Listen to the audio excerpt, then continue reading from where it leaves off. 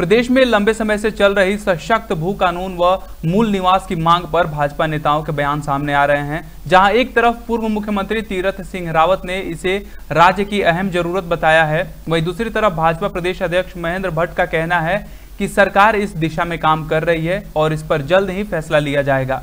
पौड़ी दौरे के दौरान पूर्व मुख्यमंत्री ने कहा कि सशक्त भू कानून व मूल निवास राज्य की अति महत्वपूर्ण आवश्यकता है। उन्होंने कहा कि उन्हें उम्मीद है कि मौजूदा सरकार जल्द ही राज्य हित में मज़बूत भू कानून और डोमिसाइल को लागू करेगी।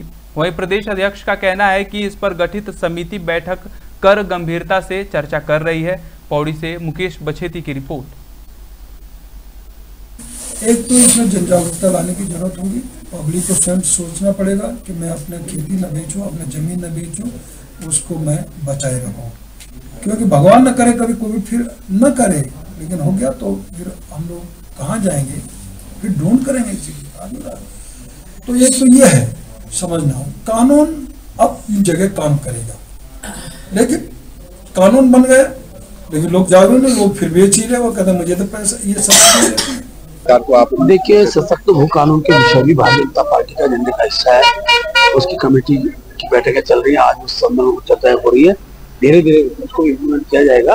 और क्योंकि भारतीय जनता पार्टी के इशू है जो आज अपोजिशन उनको मुद्दा बनाती है।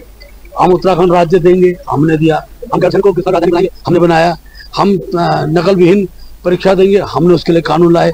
हम जब तो सारे विषय हमारे इशू पर दूसरा दल राजनीति करते हैं, लेकिन उनको अवसर मिलता नहीं है क्योंकि हर इशू को जो हमारे द्वारा तैयार किया जाता है, उसका समाधान हम ही लोग करते हैं। उम्मीद की जानी चाहिए सत्ताईस चुनाव